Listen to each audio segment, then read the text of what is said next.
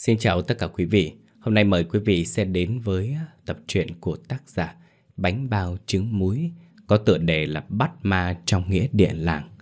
Và câu chuyện này cũng rất là thú vị và hấp dẫn. Mời quý vị cùng lắng nghe. Và hy vọng rằng quý vị có thể dành thời gian để tìm hiểu về các dòng sản phẩm vòng tay, trầm hương, trầm tốc uh, mà Duy Thuận cùng với cả ekip đang mở bán. Quý vị hãy vào Facebook và tìm kiếm fanpage này Nhà Ma. Chỉ cần gõ Nhà Ma là sẽ hiện ra quý vị nhé. Với um, kênh chính thức là có khoảng hơn 100.000 người đang theo dõi và quý vị vào đó thì sẽ có rất là nhiều thông tin các sản phẩm về các à, vòng tay à, tâm linh phong thủy mà Duy Thuận đang mở bán. À, hy vọng rằng quý vị hãy tìm hiểu và lựa chọn cho mình được một sản phẩm phù hợp. Những sản phẩm à, rẻ thôi nhưng giá trị về tâm linh của nó thì rất là tuyệt vời. Còn bây giờ mời quý vị sẽ đến với tập truyện ngày hôm nay ngay sau đây.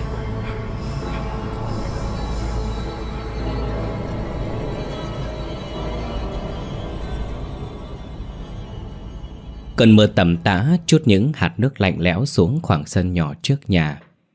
Tiếng hạt mưa va đập vào tấm mái tôn, tạo ra một thứ âm thanh ồn ào khó chịu. Hàng loạt những âm thanh hỗn loạn ầm ĩ trong cơn mưa cứ vang vọng khắp cả. Đám gà con chen chúc nhau núp dưới đôi cánh của gà mái mẹ bên gốc cây. Bên trong ngôi nhà cấp 4, đám trẻ con hơn chục đứa lúc này đang ngồi túm tụm lại với nhau vì sợ hãi. Đứa nào đứa nấy mặt cũng sợ xanh như tàu lá chuối. Trước mặt chúng là chiếc vô tuyến kết nối với đầu băng đĩa để phát một bộ phim ma cương thi. Đám trẻ xem phim ma cương thi thì sợ lắm, nhưng lại chẳng rời mắt đi giây nào vì phim quá hay. Trong phim, nhân vật mặc áo dài màu vàng với cái hình bát quái đang tay cầm kiếm gỗ, tay cầm những tờ giấy nhỏ được gọi là bùa chú đang lao vào tấn công một cái xác chết biết bay nhảy. Đám trẻ con xem tới đâu thì vừa sợ hãi, vừa trầm trồ tới đấy. Kết thúc bộ phim, người đạo sĩ trong phim cầm cây kiếm gỗ đâm xuyên qua lồng ngực con cương thi, khiến nó gào thét đau đớn rồi bốc cháy dữ dội. Đồ này ở các vùng quê làng xã nghèo đang rộ lên cái món là xem phim ma cương thi của Trung Quốc. Đám trẻ con thi nhau đòi đi ra chợ với mẹ, với bà để xả vào hàng băng đĩa lục tìm phim ma.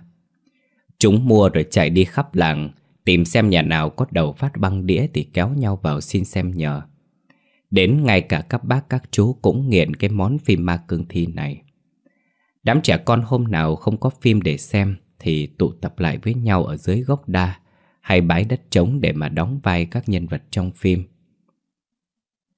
Bây giờ đã tạnh mưa, Phim cũng đã hết. Thằng cô Tùng cất băng đĩa vào trong ngăn tủ bên dưới đầu đọc băng đĩa, rồi chạy theo lũ bạn ra bên ngoài chơi. Chúng đang vẩy nước thì thấy mấy người lớn, Hai tay cầm hai cái gậy tre dài. Sau lưng thì à, đang đeo thêm một cái bình phun thuốc trừ sâu đã bị khoét ruột. Bên trong bình phun thuốc ấy là cục ắc quy được kết nối với hai cái vợt sắt gắn ở đầu hai cây gậy kia. Họ đang đi đánh cá bằng điện sau cơn mưa. Đám trẻ con thấy thế thì liền bám theo sau để đi xem bắt cá. Khi đi đến đoạn con mương nhỏ sát ngay bãi nghĩa địa, thằng Hiếu liền nói với mấy đứa. Ê, chúng mày, ra đây tao bảo. Thằng cua Hiếu là đứa cầm đầu, nên khi nghe thấy tiếng nó gọi thì tất cả những đứa còn lại đều chạy ra. Thằng cu Hiếu nhìn vào trong bãi nghĩa địa, nó nói. Ê, chúng mày, từ trước giờ chơi giả làm ma làm đạo sĩ chán rồi. Thế bây giờ chúng mày muốn thử chơi trò bắt ma thật hay không? Nghe lời này của thằng Hiếu cả đám sợ khiếp hồn khiếp vía Thằng Tùng sợ hãi liền xua tay nói Mày điên à? Xem phim đã sợ bỏ mẹ ra Giờ mà chơi gặp ma thật ngoài đời á nó cắn rồi hút máu chết thì sao? Mấy đứa khác nghe vậy cũng gật đầu nhìn thằng Hiếu Thằng Hiếu nhăn mặt, nói, Chúng mày nhát gan thế Tưởng thế nào Nhát gan thế thì về mà ôm bố mẹ ngủ đi Tao nha Tao được ông tao dạy cho phép bắt ma y như mấy đạo sĩ trên phim đấy. Ghê chưa? Thằng Hiếu ba hoa bốc phét mồm năm miệng mười, khiến cho cả đám trố mắt kinh ngạc. Thằng Hiếu thấy vậy thì liền nói. Tìm tao đi, tao có phép bắt ma. Vừa hôm nọ ông tao đưa tao đi bắt ma ở đỉnh làng đấy. Chúng mày theo tao ra bãi nghĩa địa, Ở đấy đây mà ma Tao bắt mấy con cho chúng mày xem Đám trẻ tuy há hốc mồm trước những lời bốc phét tới tận mây xanh của thằng Hiếu Và cả bọn đứa nào cũng tin rằng Ông cháu thằng Hiếu đều biết phép bắt ma ấy thế nhưng nói thật thì đám trẻ sợ thì vẫn sợ Nhưng mà trẻ con Cái sự tò mò và ham chơi Luôn luôn lớn nhất trong tâm trí.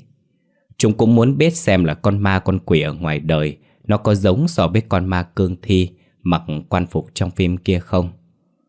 Thế là cả đám trẻ ngồi bàn bạc lại với nhau Về việc ra nghĩa địa gọi ma để bắt.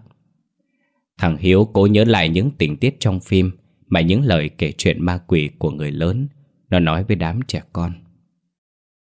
Tối nay sau khi ăn cơm xong Chúng mày mỗi đứa nhớ cầm đèn pin theo biết chưa? Nhà thằng nào ờ, có hương, nến, bật lửa với muối và gạo nếp thì mang theo luôn. Tao sẽ cầm theo bát cơm nguội để dụ con ma con quỷ ra để bắt. Cả đám nghe thế thì gật đầu như bộ cuối Rồi chia ra mỗi đứa mang một thứ. Đám trẻ bu vào bàn bạc với nhau Cứ như là họp bàn việc lớn rôm rả lắm. Trong đầu đứa nào cũng xuất hiện hình ảnh đánh nhau với ma quỷ Như trong phim vẫn hay xem. Rồi chúng nó lại tưởng tượng ra viễn cảnh thằng Hiếu dùng phép bắt ma trước mặt chúng nó Mà để chấn áp lũ ma quỷ trong khu nghĩa địa của làng Buổi tối hôm ấy sau bữa cơm đám trẻ con đã tụ tập gần như đông đủ hết ở sân kho bãi của làng. Mấy đứa trẻ con, đứa cầm theo hương, đứa cầm theo gạo nếp và mỗi đứa đều cầm theo một cái đèn pin để soi đường. Bấy giờ thằng Hiếu đầu sỏ mới xuất hiện. tại nó ôm theo một thanh kiếm gỗ và cầm theo một cái bát cơm nguội. Bát cơm này là nó lấy của con chó trong nhà. Lúc bố mẹ kêu đưa cơm cho chó ăn Thì nó chỉ lặng xuống vài ba cục xương sầu Còn bát cơm thì lén giấu đi. Thành kiếm gỗ kia là bố nó mới dùng máy cưa cầm tay làm cho. Vì nhà thằng Hiếu có cái xưởng gỗ nhỏ. Thằng Hiếu đưa bát cơm chó cho một đứa, Rồi nó cầm cây kiếm gỗ giơ lên trước mặt cả lũ trẻ con. Nói bằng cái giọng oách sàn lách Này, chúng mày, kinh chưa? Kiếm bắt ma của tao với ông tao đấy Kinh chưa? Kiếm cả nhà tao đẹp và to hơn kiếm trong phim ma cương thi kia cả chục lần nhá. Vụt phát á, chết tươi con ma. Đám trẻ đã tin sái cổ chuyện ông cháu thằng Hiếu có phép bắt ma từ chiều. Giờ thấy thanh kiếm đồ chơi này qua lời bốc phép của thằng Hiếu thì càng chắc lòng tin hơn nữa. Thanh kiếm này như là vật chấn an tinh thần của cả đám, tiếp thêm dũng khí đi tới bãi nghĩa địa. Bây giờ thì đã thấy tất cả đông đủ, cả đám bắt đầu kéo nhau đi ra ngoài nghĩa địa mà bày trò gọi ma quỷ. Cả đám đứng trước con đường đất nhỏ dẫn lối vào khu nghĩa địa trong kia. Lúc này, dũng khí bàn nãy đã bay biến sạch khi nhìn vào bóng tối âm u phía trong. Bàn nãy hăng hái bao nhiêu thì giờ đây lại trùn chân bấy nhiêu. Đứa nào đứa nấy cũng hơi hãi trong lòng mà đứng im như phỗng. So với cái lúc tưởng tượng thì lúc tới nghĩa địa vào buổi tối như này là quá đối kinh hãi. Thằng Hiếu, giọng nói hơi run nhưng vẫn thích ra chiều không sợ. Sao, sao chúng mày không, không đi nữa? Ơ kìa, đi vào trong kia đi chứ. Không lẽ đứng đây tới lúc có người làng đi qua túm cổ cả lũ à? Đám trẻ nghe vậy thì sợ lắm. Thằng Hoàng tiến lên nói. Ờ, ờ, nhưng, nhưng, nhưng, nhưng mà chúng, chúng ta sợ lắm. Nhìn, nhìn vào trong kia đi. Tối om om, khiếp bỏ mẹ. Sợ lắm Hay là mày vào trong kia đi Chúng tao ở ngoài này chờ Khi nào mày bắt được ma thì mang ra đây cho bọn tao xem Mấy đứa khác nghe thằng Hoàng nói vậy thì hợp lý lắm Chúng nó gật đầu như bổ củi Ừ phải đấy Mày vào trong kia đi Hiếu Bọn tao ở ngoài này chờ Thằng Hiếu nghe vậy thì rén lắm. Nó mạnh mồm nói. Chúng mày đi tới thầy Pháp bắt ma như tao mà còn sợ cái gì? Đi vào ờ, trong kia với tao. Yên tâm. Có tao ở đây là không có con ma nào làm được gì chúng mày đâu. Đi vào kia với tao. Giờ tao mà vào trong kia nhá. Xong tao đi ra. Mai tao đi nói với cả trường là đám chúng mày nhát chết. Lúc đấy à, chúng nó chơi với tao. Không chơi với chúng mày nữa đâu. Thằng Hiếu nói đến văng cả nước bọt ra. Đám trẻ con sợ thì sợ thật Nhưng bị thằng Hiếu khích đều như thế thì cũng khó chịu lắm.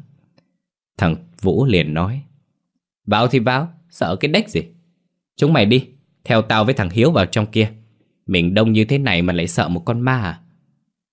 Một thằng gật đầu là cả lũ cũng hùa theo. Thế là cả đám trẻ hơn chục đứa kéo nhau đón rén bước xuống lối dẫn vào trong nghĩa địa. Những tiếng bước chân sột soạt khẽ vang lên. Ánh đèn pin trong tay lũ trẻ con cũng đã được bật lên. Đám trẻ vừa đi vừa sợ bám chặt lấy nhau.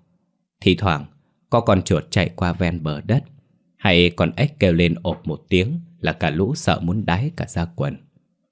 Mấy đứa trẻ bám lấy thằng Hiếu muốn đưa tay sờ vào thanh kiếm gỗ của nó, Để như là một biện pháp trấn an tinh thần. Sờ được vào thanh kiếm gỗ, Trong lòng mấy đứa trẻ Đứa nào cũng thấy an toàn, Yên tâm hơn hẳn.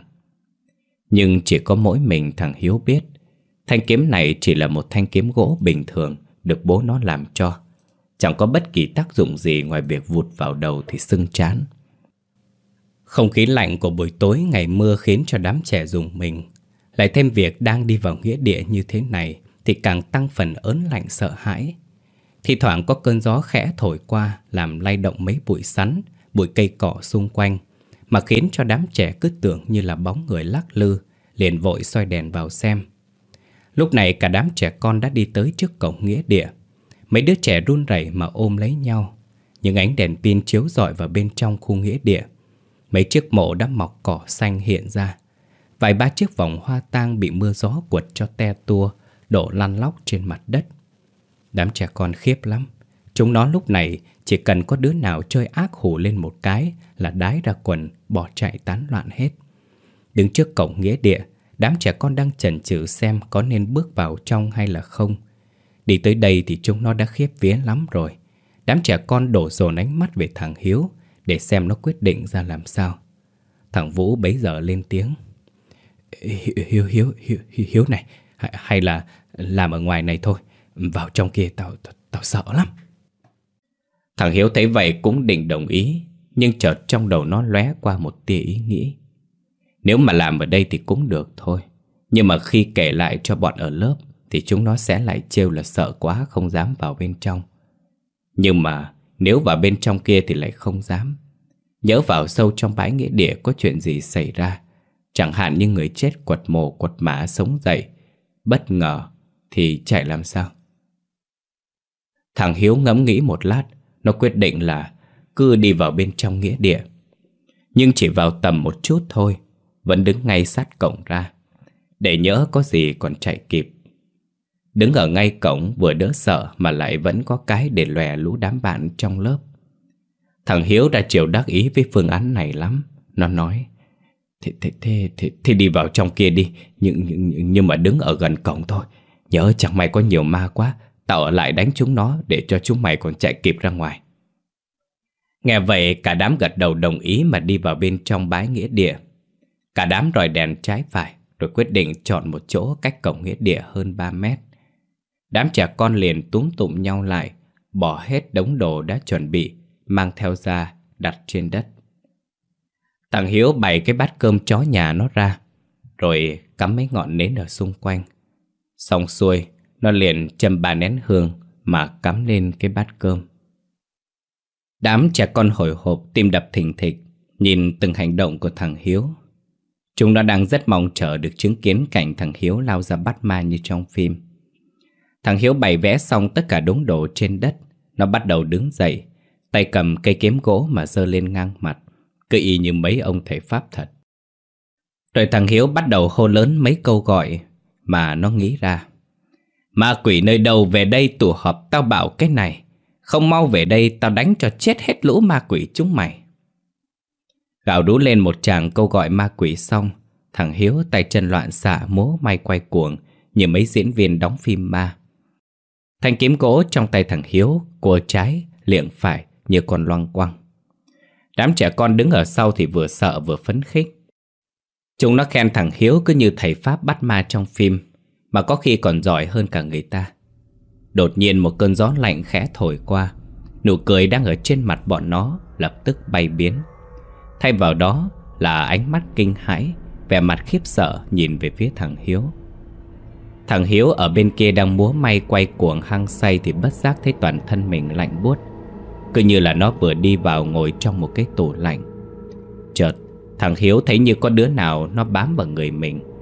Nó tưởng là thằng nào đằng sau sợ quá lao lên ôm lấy mình Thì liền khó chịu, Định quay lại chửi cho mấy câu.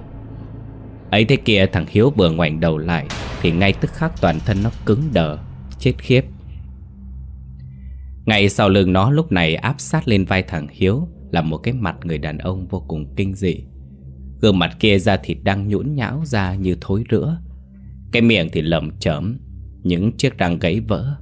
Nụ cười ngoác rộng cùng chiếc lưỡi dài Làm cho thằng Hiếu chết đứng tại chỗ. Hai con mắt chín phần trắng giá, Một phần tròng đen của người đàn ông Nhìn thẳng vào mắt thằng Hiếu. Cái thứ giọng nói ma quái đầy ghê sợ cất lên. Mày gọi tao hả? Thằng nhóc con. Mày muốn gọi tao hả? Sao? Mua kiếm tiếp đi tao xem nào, Thằng nhóc con này. Mày muốn thấy tao mà, Thì tao đây này. Tao đang ở trước mặt mày đây này, thằng nhóc con. Đám trẻ con kinh hoàng gào khóc ầm ĩ Rồi bỏ chạy tán loạn khỏi bãi nghĩa địa. Ở phía trong làng lúc này, Mấy người nhà của mấy đứa trẻ cũng đang lo lắng đi tìm con. Chả là ban nãy sau bữa cơm, Bố mẹ chúng nó gào gọi mấy câu, Kêu đám trẻ về học bài thì chẳng thấy đâu.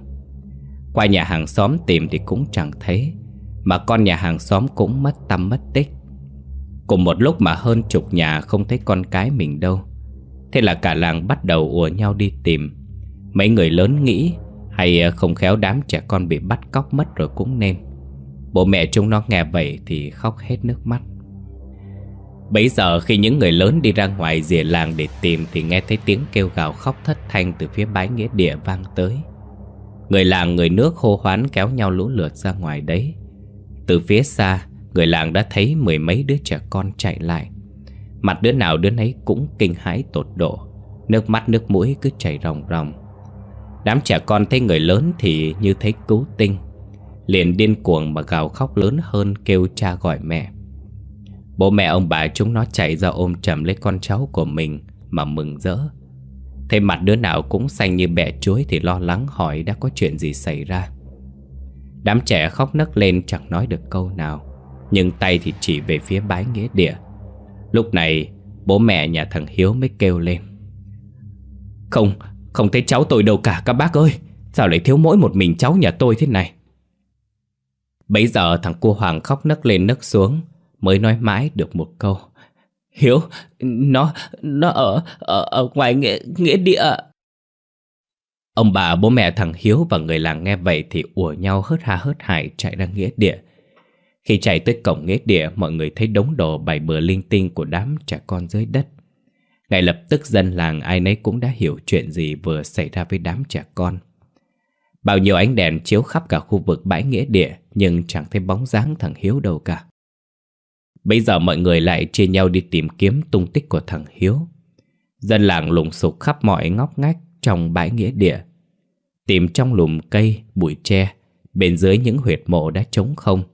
Thậm chí mà nhiều người còn về lấy thuyền nan che ra Chèo dọc con đầm nước Ven bãi nghĩa địa Mà rọi đèn pin vào mép nước nhưng quái lạ thay, tung tích của thằng Hiếu mãi chẳng thấy ở đâu.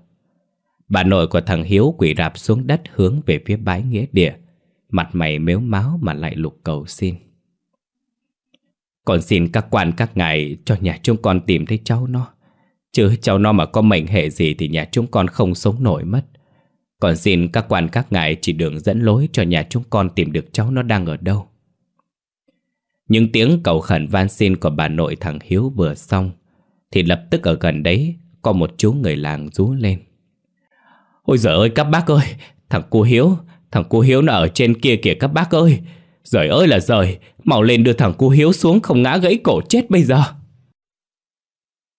Người nhà thằng cô Hiếu và người làng sừng sốt nhìn theo ánh đèn pin của chú kia đang soi. Tất cả mọi người đều kinh hãi khi nhìn lên ngọn tre. Thằng cô Hiếu lúc này đang bị một ngọn tre chọc xuyên từ ống tay áo bên này qua bên kia mà treo lủng lẳng trên đấy. Thằng Hiếu hai con mắt mở thao láo nhìn xuống dưới mà không hề chớp. Ông bà bố mẹ thằng Hiếu hoảng hốt kêu lên. Ôi giời ơi Hiếu ơi, con ơi là con, sao mày lại trèo lên tận trên đấy mà đánh đu thế hả con? Xuống đây con ơi, xuống đây với bố với mẹ đi Hiếu ơi.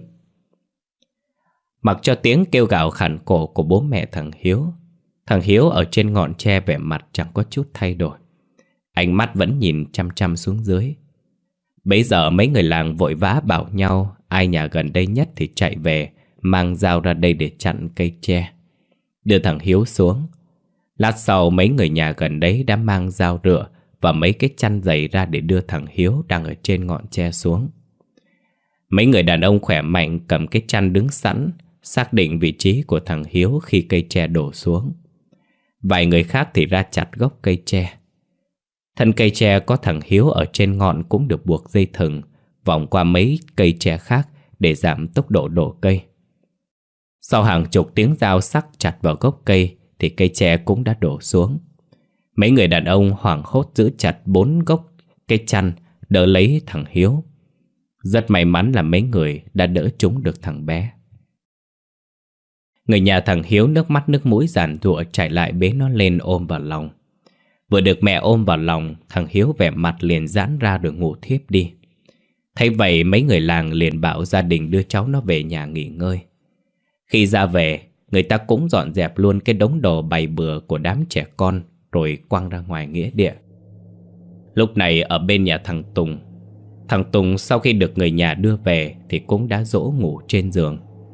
Trong cơn mê man của thằng Tùng, Nó thấy mình đang ngồi chơi ở ngoài hiên nhà.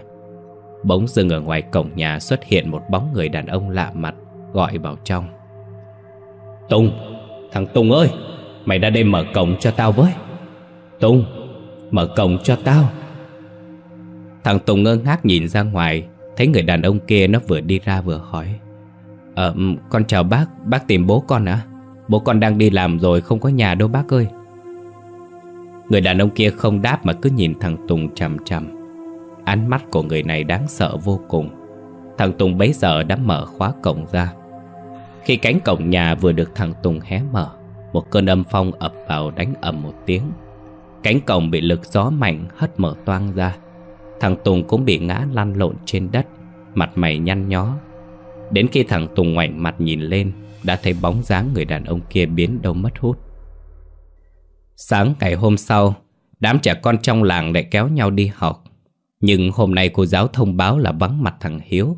Điều này khiến cho bọn trẻ con ngạc nhiên lắm. Mấy đứa trẻ con nói với nhau hay là hôm qua thằng Hiếu nó ở lại đánh nhau với con ma kia rồi bị thương. Nên nay bố mẹ nó xin nghỉ cho nó. Tao cũng không biết nữa. Hay à, chiều nay chúng mình chạy qua nhà thằng Hiếu xem sao? Buổi trưa hôm ấy, đám trẻ con đi học về. Chúng nó nghe được từ miệng người lớn nói với nhau Là thằng Hiếu từ lúc đưa về nhà hôm qua Thì ngủ ly bì tới tận sáng nay. Đến khi thằng Hiếu tỉnh lại thì đầu óc nó cứ thơ thơ thẩn thẩn Như người bị ngẫn ngờ. Bố mẹ với cả ông bà có hỏi gì nó cũng không đáp. Nên sáng nay cả nhà đã gấp gáp đưa thằng Hiếu lên viện trên tỉnh khám thần kinh. Mấy cụ già cả trong làng thì lại kháo nhau rằng, Có khi đám trẻ con hôm qua kéo nhau ra bái nghĩa địa thắp hương xong rồi gặp ma. Và thằng Hiếu là đứa xấu số bị con ma bắt được. Nó không giết chết, nhưng nó lại cướp đi hồn phách của thằng Hiếu.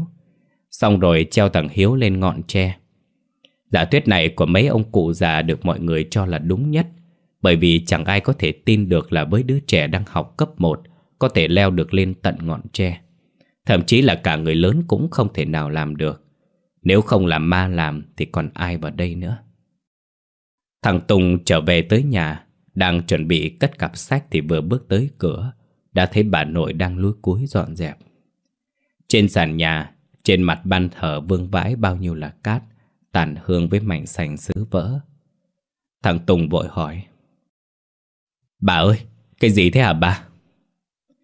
Bà Tài nghe tiếng cháu nội hỏi thì ngẩng mặt lên đáp. À, nãy bà định thắp lên ban thờ ra tiên nén nhang. Nhưng à, chẳng hiểu sao cái bát hương đứt toác vỡ làm mấy mảnh. Bà đang dọn dẹp mấy cái mảnh sành sứ cho gọn. Không nhỡ đi lại dẫm vào chân. Tùng, ra kia lấy cho bà cái mo hót rác vào đây. Thằng Tùng nghe vậy thì vâng vâng dạ dạ chạy đi ngay. Thằng Tùng vừa cầm vào cái mo hót rác, liền bất ngờ nghe thấy văng vẳng từ đâu, tiếng người cười cười nói nói rất ghê rợn. Tao làm đấy, là tao làm vỡ bát hương nhà mày đấy. Thằng Tùng giật mình ngoảnh mặt lên nhìn ra sân tìm kiếm xem ai là người vừa nói Nhưng đập vào mắt thằng Tùng là khoảng sân nhỏ của nhà nó vắng tanh Chẳng có bóng người nào Thằng Tùng còn đang thắc mắc khó hiểu Không biết ai vừa nói vào tai mình Thì từ trên nhà Tiếng gọi ý ới của bà Tài vọng ra Tùng ơi Lâu thế hả con Cầm cái mò hót lên đây cho bà với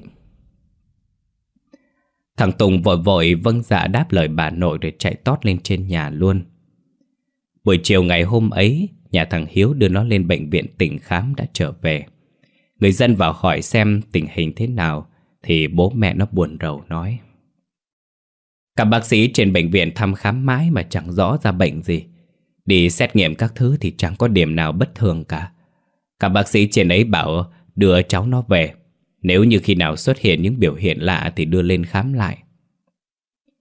Nhìn vẻ mặt ngờ nghệch của thằng Hiếu, dân làng ai nấy cũng buồn thay cho gia đình nhà này. Mấy ông cụ cao lão cũng tới nhà chơi. Mấy ông cụ ngồi với ông nội thằng Hiếu nói Ông xem thế nào à, đi tìm thầy thợ biết phép ở đâu về giúp đi. Chúng tôi nghĩ rằng khả năng rất cao là cháu ông nó bị đám ma đám quỷ ngoài nghĩa địa tối hôm qua bắt mất mấy phần hồn phách đấy.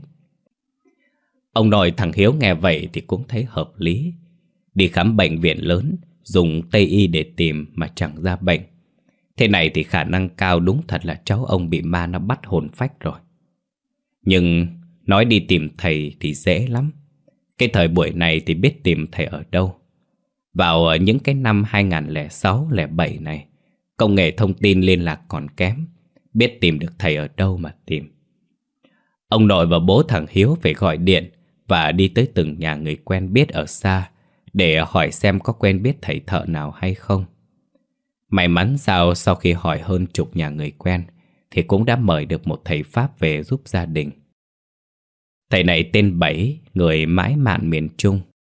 Khi ấy thầy Bảy đang giúp một nhà kia trục phong thì bố mẹ thằng Hiếu tới đúng lúc.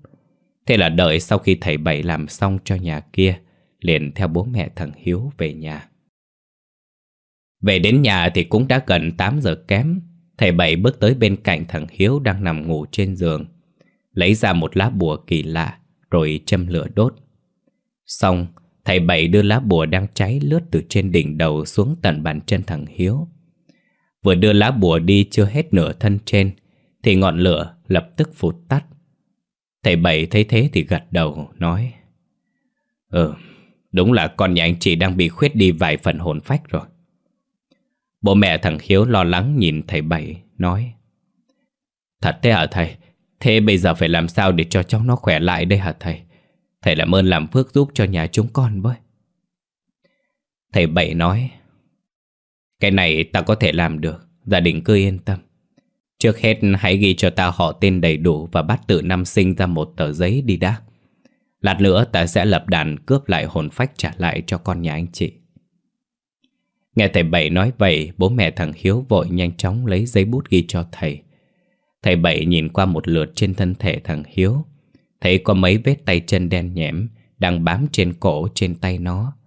Đây chính là những dấu vết âm khí của con ma tối hôm trước bên ngoài nghĩa địa để lại. Bấy giờ ở bên nhà bà Tái, thằng Tùng lúc này đang ngồi học bài dưới ánh đèn điện trong nhà. Đột nhiên, thằng Tùng nghe được ở bên ngoài cổng vọng vào là tiếng gọi ý ới. Tùng, Tùng ơi, ra đây chơi Tùng ơi. Tùng, ra đây chơi với tao đi Tùng. Thằng Tùng nghe thấy tiếng bạn gọi thì vội ngó đầu qua cái cửa sổ nhìn ra ngoài. Đúng thật là ở ngoài cổng nhà thằng Tùng lúc này đang có một bóng người nhỏ thó đứng đấy. Bóng người kia leo lên cánh cổng nhà thằng Tùng rồi lại nhảy phát qua cánh cổng bên cạnh khiến cho thằng Tùng trợn mắt há mồm. Thằng Tùng vội cất sách cất vở mà chạy tót ra bên ngoài. Khi nó vừa chạy ra đến ngoài cổng, nó thấy đứa vừa gọi nó chính là thằng Hiếu. Nhưng vẻ mặt của thằng Hiếu lúc này nó âm u lắm. Thằng Tùng ngạc nhiên, nó hỏi. Ơ, Hiếu, không phải mày đang bệnh ở nhà hay sao? Sao bây giờ lại qua nhà tao chơi thế này? Mày không sợ bị bố mẹ đánh đòn à? Thằng Hiếu đứng trước mặt thằng Tùng Cái đầu nó khẽ lắc Nói không, tao khỏe rồi Mày đi ra đây chơi với tao Đi Tùng, ra ngoài này đi Thằng Hiếu vừa nói hết câu, Nó liền quay lưng rời đi trước Mà không thèm để ý xem Thằng Tùng có đồng ý hay không. Thằng Tùng thấy bạn như vậy Thì vội chạy theo, nói vọng. Từ từ, chờ tao đã. Nhưng mà chờ ở đâu đấy? Có ai nữa không hay chỉ có tao với mày thôi hả Hiếu? Thằng Hiếu ở phía trước cứ im lìm mà bước đi không thèm trả lời. Thằng Tùng thì cứ hớt ha hớt hải chạy ở phía sau. Khi này đột nhiên thằng Hiếu đang đi thì rẽ ngoặt vào bên trong vườn chuối nhà ông Tú. Ở trong vườn chuối này cũng có bãi chơi đồ hàng của đám trẻ con Nhưng đấy chỉ là chơi vào ban ngày thôi. Chứ buổi tối này nhìn vào trong đấy thấy ghê ớn hết cả người Thì sao mà dám chơi? Thằng Tùng lúc này đứng dừng lại trước vườn chuối Không dám theo thằng Hiếu đi vào trong. Nó đứng gọi. Hiếu, Hiếu ơi Mày đâu rồi hả Hiếu ơi? Đi ra ngoài này đi, tao sợ lắm không dám vào đấy đâu. Không cái tiếng thằng Hiếu trả lời. Thằng Tùng lúc này sợ muốn chạy về nhà. Chợt Thằng Tùng thấy bạn đang đứng dưới một tán cây chuối mà nhìn mình. Bấy giờ thằng Hiếu mới cất tiếng gọi. Đi, đi vào đây đi Tùng. Vào đây với tao. Không sao đâu. Đi vào đây với tao đi. Thằng Tùng còn đang do dự Nhưng nghe tiếng thúc giục của thằng Hiếu thì đành cắn răng sợ hãi mà đi vào trong. Khi thằng Tùng vừa bước đến trước mặt thằng Hiếu Đột nhiên thằng Hiếu đưa tay ra cầm chặt lấy tay nó mà lôi đi. Thằng Tùng giật mình ngạc nhiên trước hành động khác lạ này của bạn. Hơn hết, thằng Tùng trong lòng đang cảm thấy kinh hãi Khi nó cảm nhận được bàn tay của thằng Hiếu Lúc này đang lạnh như viên đá. Thằng Tùng vội nói Từ từ, từ từ đã Sao tay mày lạnh thế hả Hiếu? Bỏ tay tao ra. Thằng Hiếu đi đằng trước không đáp mà cứ lôi thằng Tùng đi. Ở cách đấy không xa có một bóng đen đang đứng bên cạnh một bụi chuối Để chờ hai đứa trẻ tới. Bóng đen này chính là con ma ở ngoài nghĩa địa Đã bắt đi một phần hồn phách của thằng Hiếu. Nói cách khác, Cái thứ đang kéo thằng Tùng đi sâu vào vườn chuối lúc này Chỉ là một phần hồn phách của thằng Hiếu mà thôi. Và con ma này muốn dùng hồn phách thằng Hiếu Để lừa thằng Tùng ra đây. Xong rồi thì giết chết thằng Tùng. Bấy giờ đột nhiên thằng Tùng vấp chân ngã sóng xoài ra mặt đất. Thằng Tùng mặt mày nhăn nhó, mếu máu, kêu đau. Còn mà kia đứng đấy, Đang định ra lệnh cho hồn phách thằng Hiếu Tiếp tục kéo thằng Tùng vào trong đây, Thì bất ngờ thay. Hồn phách của thằng Hiếu lúc này nhập nhòe biến ảo, Rồi bất ngờ hóa thành một vệt sáng Bay vút đi. Còn mà kia thấy thế thì hoảng hốt Vội lao ra đuổi theo nhưng không kịp. Thằng Tùng lúc này mặt mũi cũng ngơ ngác Khi không thấy thằng Hiếu đâu nữa. Nó gào gọi một thôi một hồi Mà chẳng thấy bạn đâu. Thằng Tùng hoảng sợ, Gào khóc ầm ĩ. Tiếng khóc của nó đánh động tới người nhà ông Tú Và mấy nhà hàng xóm xung quanh. Ông Tú và mấy người cầm theo đèn pin Đi vào bụi chuối Theo hướng tiếng khóc kia phát ra. Đến khi phát hiện ra tiếng khóc là của thằng Tùng thì mấy người liền chạy về, Gọi người nhà ra đón con. Bố mẹ thằng Tùng là anh Hùng và chị Thu. Nghe tin con mình ở trong vườn chuối nhà ông Tú, Thì tá hỏa chạy ra. Bấy giờ ở bên nhà thằng Hiếu, Ông thầy Bảy đang ngồi ở trước một đàn phép trước hiên nhà. Trên đàn phép là hoa quả, bánh trái cùng rất nhiều bùa chú. Thầy Bảy vừa làm phép thử gọi phần hồn phách kia của thằng Hiếu về xem có được hay không. Ông thầy Bảy thầm nghĩ chắc khó mà được. Vì hồn phách bị ma quỷ giam giữ thì khó lấy lại, Nếu như không giao chiến với nó một trận. Nào đâu có ngờ, Ông thầy Bảy chỉ đưa tay lên bắt quyết một cái. Đọc chú lệnh cùng tên tuổi của thằng Hiếu, Thì ngay lập tức hồn phách nó đã về. Tia sáng hồn phách của thằng Hiếu bay vụt tới nhập vào trong cây cờ nhỏ bằng bàn tay. Thầy Bảy vội cầm lấy lá cờ tiến về chiếc giường thằng Hiếu đang nằm. Thầy Bảy cầm lá cờ họa lên mặt thằng Hiếu, Những nét phủ văn cổ quái. Xong xuôi, Thầy Bảy mới nói với người nhà. Xong rồi đấy, Hồn phách của cháu nó đã được tôi gọi về rồi. Từ bây giờ cho tới hết một tuần lễ, Gia đình hạn chế cho cháu ra ngoài ban đêm. Ban ngày thì cũng không nên ra những nơi sông nước hay nghĩa địa là được. Bấy giờ thằng Hiếu đột nhiên mở mắt rồi khóc rú vang hết cả nhà lên. Bà với mẹ thằng Hiếu thấy vậy thì vừa mừng vừa hoảng chạy lại ôm thằng bé vào lòng vỗ về. Từ lúc đón được thằng Hiếu từ bái nghĩa địa về đến giờ, Đây là lần đầu tiên cả nhà nghe được tiếng của nó. Ai nấy cũng mừng lắm. Cảm ơn thầy Bảy rối rít. Bây giờ bố thằng Hiếu thì ra ngoài dọn dẹp bàn lễ, còn thầy Bảy thì đang ngồi uống nước chè với ông nội thằng Hiếu. Thầy Bảy nhấp một ngụm chè, cho mày lẩm bẩm. Quái thật đi nhỉ? Ông nội thằng Hiếu ngồi bên thấy thầy Bảy nói vậy thì liền hỏi. Ờ, sao thế hả thầy? Thầy thấy lạ ở chuyện gì sao? Không lẽ cháu nhà tôi vẫn chưa được bình thường hay sao? Ông thầy Bảy liền xua tay, nói. Không không, vấn đề của cháu bác đã được tôi giải quyết ổn thỏa cả rồi. Cái tôi thấy lạ là giải quyết lần này nó lại dễ quá mức tưởng tượng như vậy. Xưa này tôi đi làm lễ cướp lại hồn phách cho những người bị ma quỷ đoạt mất. Mười lần như một, đều phải ờ, đấu pháp đánh một trận thì mới lấy lại được. Nhưng với cháu của bác thì nãy tôi thử gọi một cái là hồn phách đã quay về ngay. Thường thì những sự như thế chỉ có ở người bị hù dọa sự quá mức khiến hồn phách thoát khỏi xác. Nhưng rõ ràng trên người cháu nhà bác có dấu vết để lại của ma quỷ. Ông nội thằng Hiếu chưa hiểu rõ ý thầy Bảy muốn nói là gì. Liền nói. Ừ, thưa thầy, tôi người trần mắt thịt vô phép nên chưa hiểu rõ ý thầy muốn nói lắm. Ông thầy Bảy nói. Tôi là tôi nghi ngờ, còn ma kia lúc ban nấy định dùng hồn phách cháu của bác để đi giết người đấy. Cũng chỉ có những lúc vòng ma thả hồn phách nó bắt được ra để đi ờ, dụ bắt người thì mới có thể gọi về dễ dàng như thế này được. Ông nội thằng Hiếu nghe thế thì chấn kinh lắm. Ông sửng sốt kêu lên. Cái gì? Thật là như vậy sao hả thầy? Vậy vậy cháu tôi nó đã giết người hả thầy? Ông thầy Bảy xua tay nói. Bác nói khẽ khẽ thôi. Không người nhà nghe được lại đâm lo. Đây không phải là cháu của bác giết người. Vì chỉ là một phần hồn phách nhỏ lẻ không thể nào giết được người. Mà lại cái con ma đã bắt hồn phách của cháu bác dùng nó như một mồi nhữ để lừa người ta ra ngoài. Xong rồi chính cái con ma kia mới là kẻ ra tay. Nhưng mà tôi nghĩ là chưa có ai bị hại đâu. Vì nếu hại được người rồi thì con ma kia sẽ nhốt hồn phách của cháu nhà bác lại ngay. Tôi gọi hồn phách cháu nó về thế này, chứng tỏ đã kịp thời phá hỏng kế hoạch của con ma kia. Nên chưa ai bị hại cũng là hợp lý. Nghe vậy ông nội thằng Hiếu mới thở phào nhẹ nhõm trong lòng.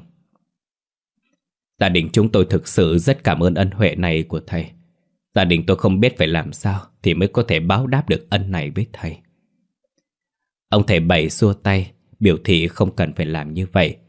Chỉ cần nuôi dạy thằng bé khôn lớn lên người và làm việc có ích cho xã hội là được. Phía bên nhà thằng Tùng lúc này đã quá nửa đêm. Thằng Tùng đang nằm ngủ với ông bà nội. Bỗng, thằng Tùng như bị thứ gì đó làm cho tỉnh giấc.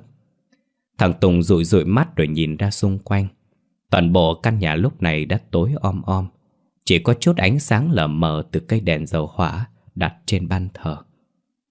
Khi thằng Tùng đánh ánh mắt ra ngoài cửa, nó giật mình sợ hãi. Trong mắt thằng Tùng nhìn qua mấy khe hở trên cánh cửa. Nó thấy vừa rồi như có một bóng người vừa đi lướt qua. Thằng Tùng hãi lắm.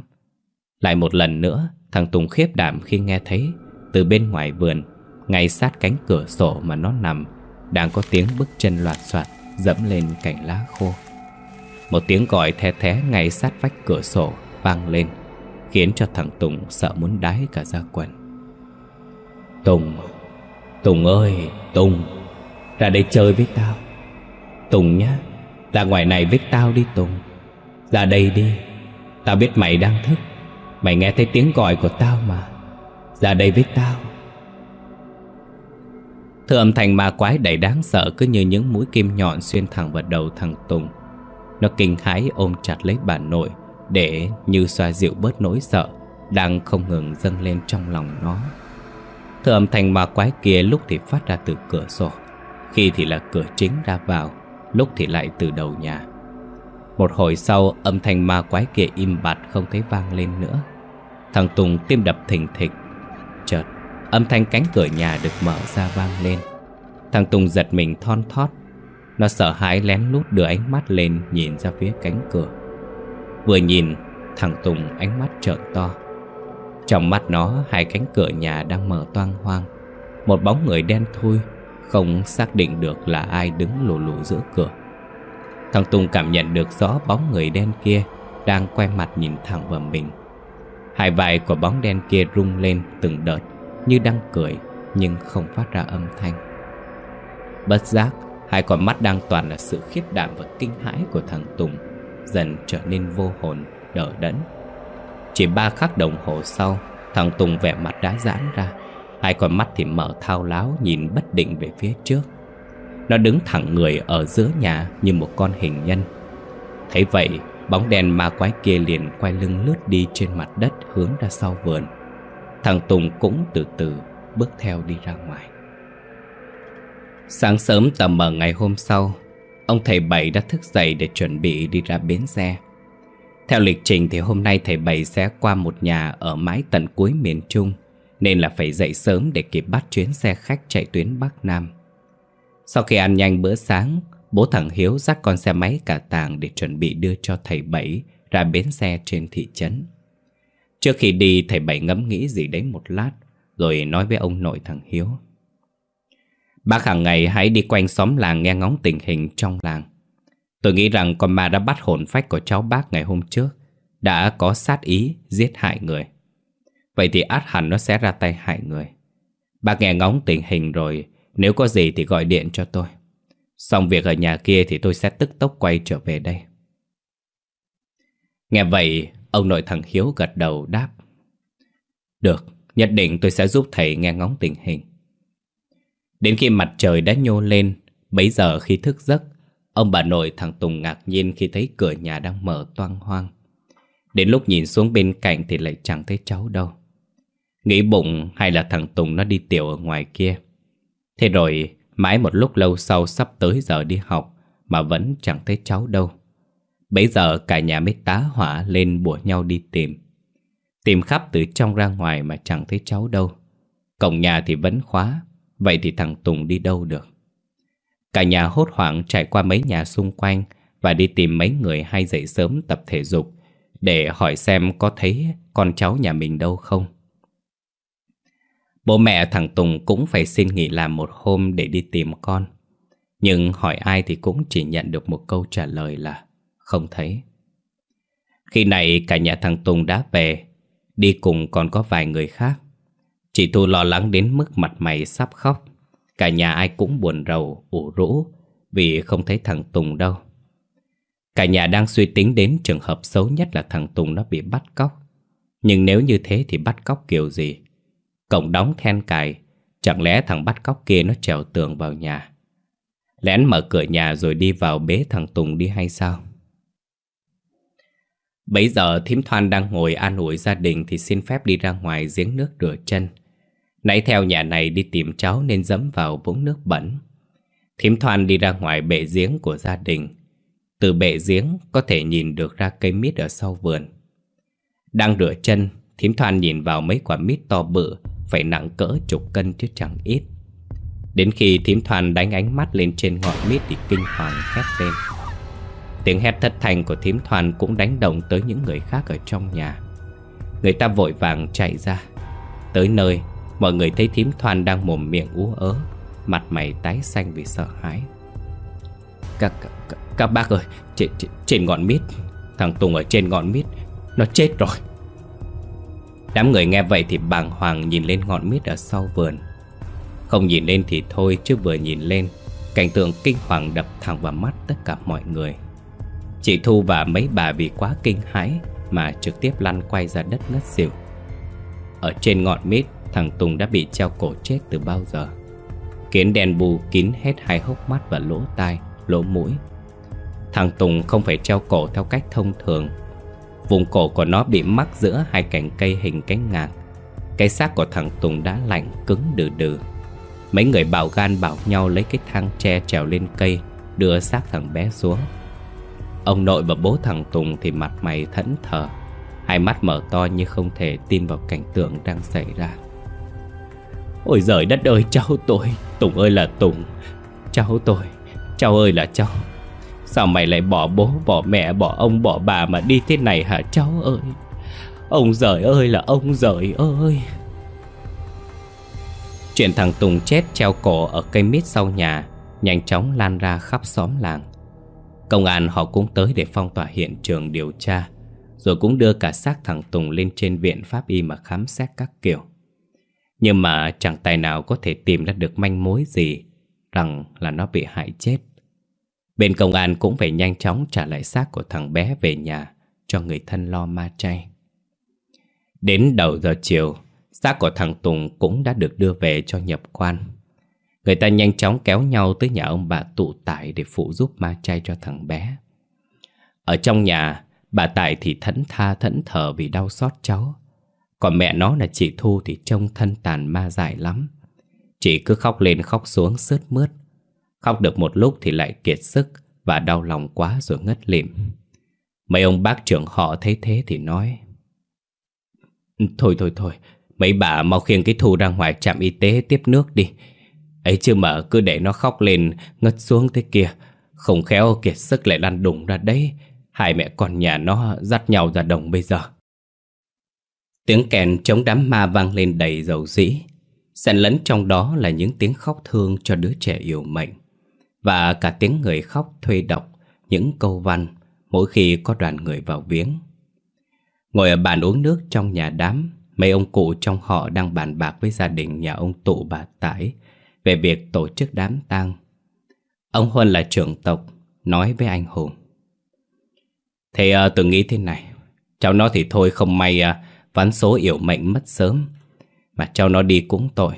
Lại thêm ở bên công an họ mổ xẻ ra để xét nghiệm, điều tra các thứ. Vì thế à, mà nhà mình dù có đau xót tiếc thương mấy thì cũng không nên để cháu nó ở lại lâu.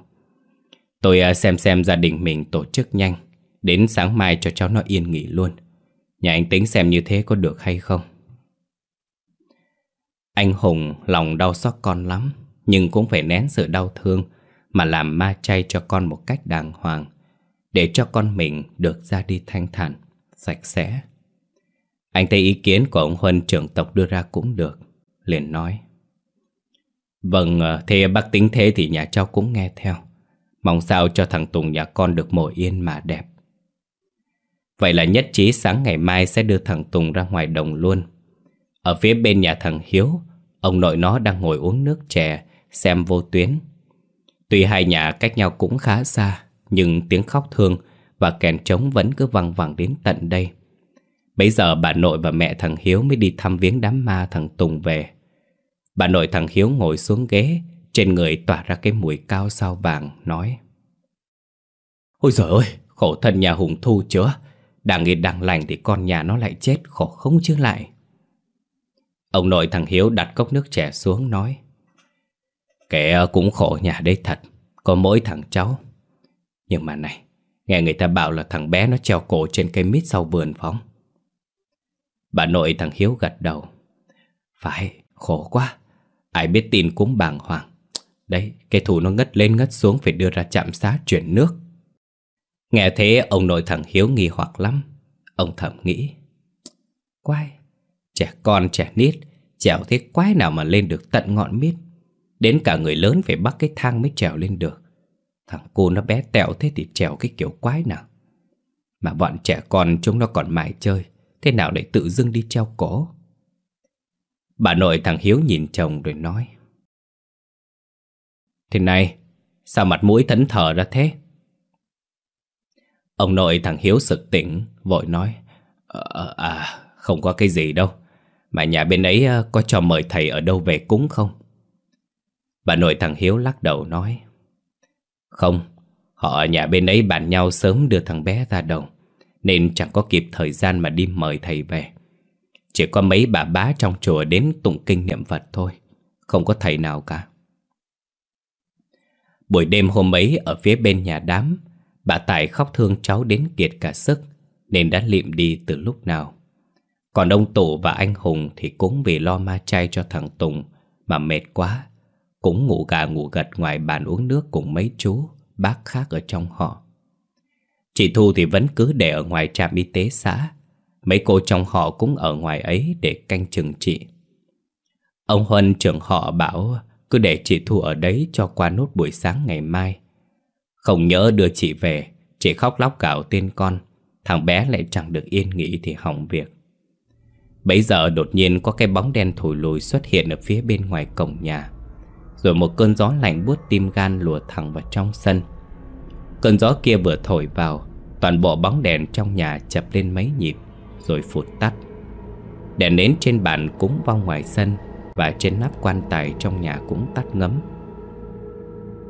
Anh Hùng và mấy người xung quanh đang ngủ gật thì sực tỉnh Khi bóng đèn chớp nháy rồi tắt ngúm Rồi bất ngờ một tiếng động mạnh vang lên Tiếng đổ vỡ loảng xoảng khiến cho anh Hùng, ông Tụ và mấy chú mấy bác giật mình Tiếng đổ vỡ cũng đánh thức bà Tải và vài người trong nhà Ông Tụ vội nói lớn Cái gì đấy? Cái gì mà đổ vỡ ầm ĩ thế? Sao đèn đóm tối om om thế này? Hùng, mau à, bật đèn lên con Xem xem là cái gì nó vừa đổ vỡ. Ở trong nhà bà tài cũng kêu lên. Ôi trời ơi, ông Tụ ơi là ông Tụ ơi. Đèn đóm sao mà tối om tối mù thế hả ông? Anh Hùng chạy lần mò trong bóng tối tới chỗ cầu giao điện.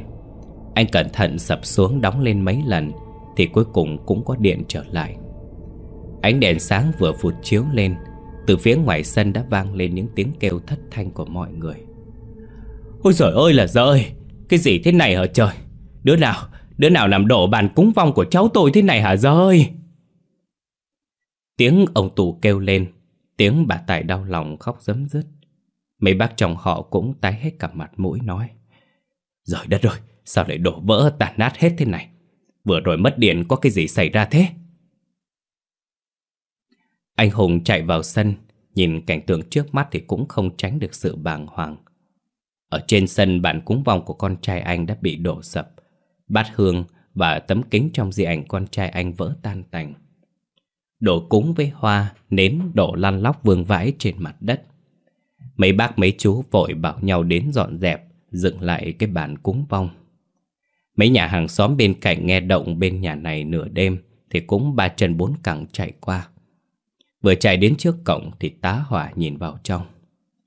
Ôi trời ơi, có chuyện gì thế hả các bác? Sao lại đổ vỡ hết thế này? Chúng tôi cũng chẳng biết Tự nhiên mất điện Xong rồi có tiếng đổ vỡ loáng sáng rồi đến lúc có điện trở lại thì nó đã thành ra như thế này rồi mấy bác ạ. Mấy người hàng xóm cũng vội tiến lại phụ một tay dọn dẹp, dựng lại cái bàn cúng vong. Vẻ mặt ai nấy cũng rất hoang mang, chẳng hiểu có chuyện gì xảy ra mà quật đổ cả bàn cúng vong. Đến buổi sáng đúng 8 giờ 30, cố quan tài được bốn người đàn ông khiêng đưa ra ngoài xe tang.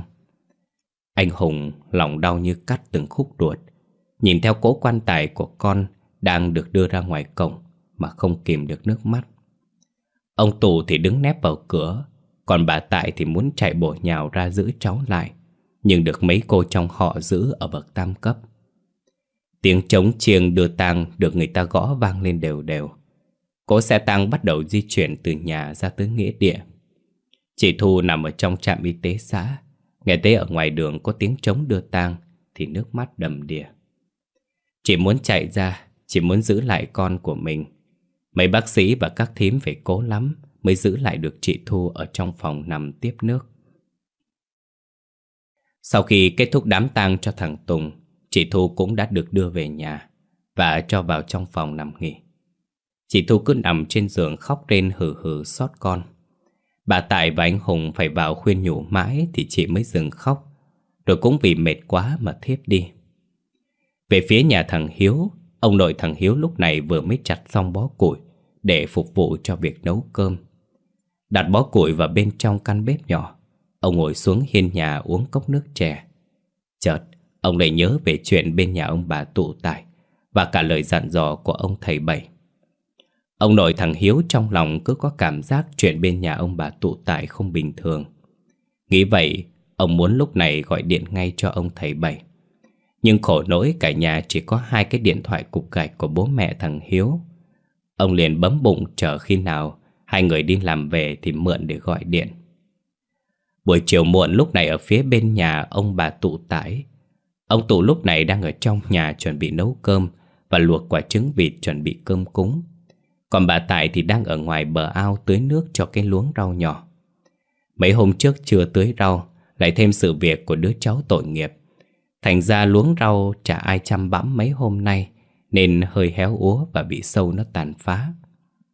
Bà Tại mặt mũi buồn rầu lắm Bà xót cháu. Vừa múc từng gáo nước tưới và luống rau Bà vừa nhớ tới những ngày tháng Còn có đứa cháu chạy nhảy Nô đùa ngoài sân. Bà ơi Bà! Con về rồi bà ơi, Con Tùng đây bà ơi. Đang thẫn thờ, Bà Tài bất ngờ, Chợt giật thót mình Khi nghe thấy tiếng gọi quen thuộc của cháu mình. Bà Tài vội ngẩng đầu lên nhìn giáo giác xung quanh, Miệng bà ú ớ. Tùng Tùng, Cháu ơi, Cháu về rồi hả cháu ơi?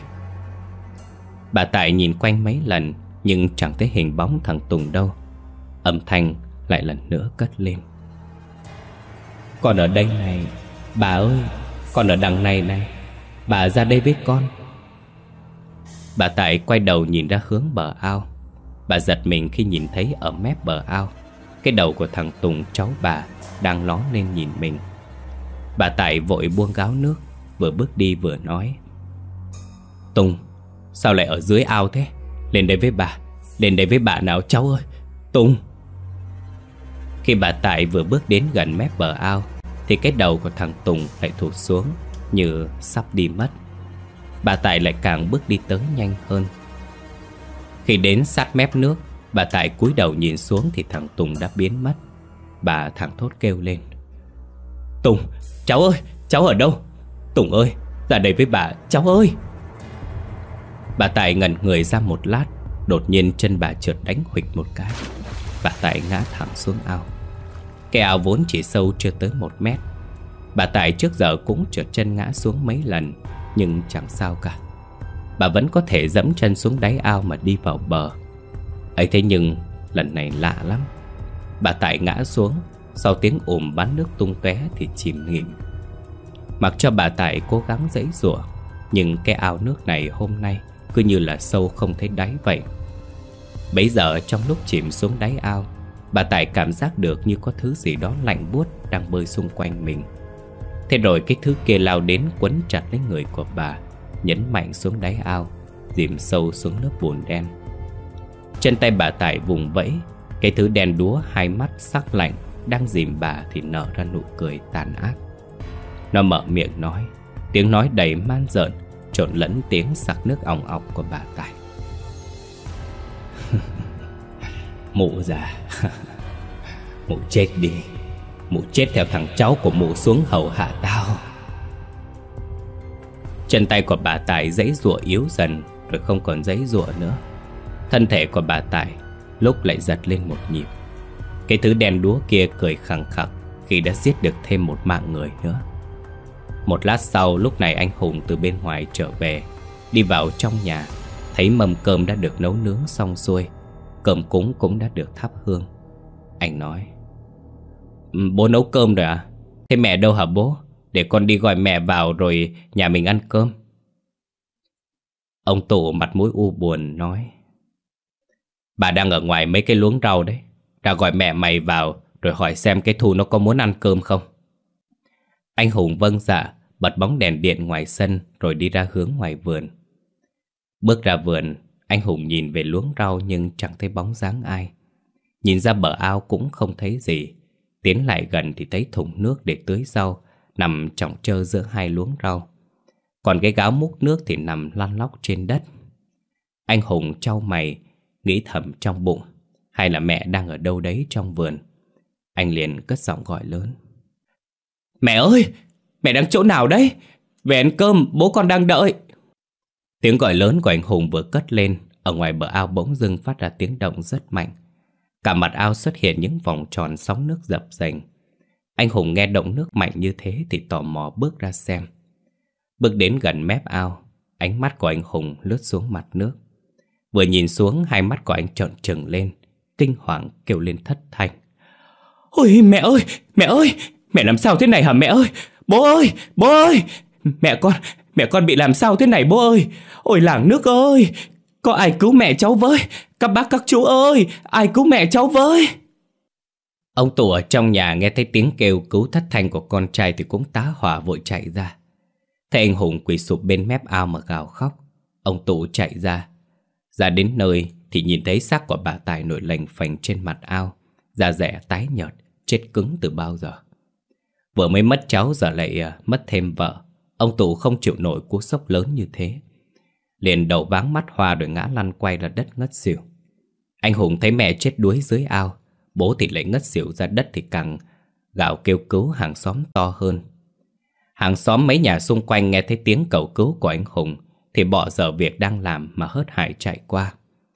Vừa chạy tới chỗ anh Hùng Người ta kinh hãi kêu lên. Ôi giời ơi các bác ơi Bà Tài, bà Tài chết đuối rồi các bác ơi. Ôi giời ơi, thế này có khổ không chứ lại? Chuyện bà Tài chết đuối ở cái ao ngoài vườn Lại một lần nữa làm người dân trong làng bàng hoàng một phen. Sáng vừa đưa thằng cháu ra đồng, Chiều tối lại đến lượt bà nội về với tiên tổ. Người ta bu đến nhà của anh Hùng đông lắm. Anh Tụ thì được đưa gấp ra trạm y tế khám xét từ ban nãy. Mấy bà thím thấy hoàn cảnh tăng tóc của nhà này Thì chẳng thể kìm được nước mắt. Trời đất ơi, nhà này nó làm nên cái tội tình gì mà đẩy đọa ra đến mức này hả trời? Bây giờ bố mẹ thằng Hiếu ban nãy đi làm về qua nhà anh Hùng Cũng biết được tin về nhà kể với bố mẹ. Ông nội thằng Hiếu nghe xong câu chuyện thì mặt mày nghiêm trọng lắm. Ông nội thằng Hiếu mới lấy ra tờ giấy ghi số điện thoại ông thầy Bảy Rồi mời điện thoại của con trai bấm số gọi. Sau một hồi chuông thì ở đầu dây bên kia Ông thầy Bảy đã bắt máy. Chưa kịp cho ông thầy nói gì, Ông nội thằng Hiếu đã nói ngay. Thầy ơi, nguy rồi, Trong làng tôi xảy ra chuyện rồi thầy ơi. Thế rồi ông nội thằng Hiếu kể lại tất tần tật từ chuyện cái chết kỳ lạ của thằng Tùng, Rồi đến việc bà Tài chết đuối ở cái ao sâu chưa tới một mét. Ông thầy Bảy ở đầu dây bên kia nói Thế thì nguy thật rồi. Khả năng cao đây là do cái con ma tính hại chết cháu của bác gây ra rồi. Được rồi để sáng sớm ngày mai tôi sẽ tức tốc trở về làng giúp cho gia đình đó. Ừ, Vâng Thế ờ, chúng tôi chăm sự nhờ thầy. Người dân trong làng đến hỏi thăm chia buồn cùng nhà anh Hùng. Thấy tang nối tang Hôm trước mất con Hôm nay mất mẹ Ai cũng thương xót. Người ta cũng muốn khuyên bảo an ủi anh Hùng lắm.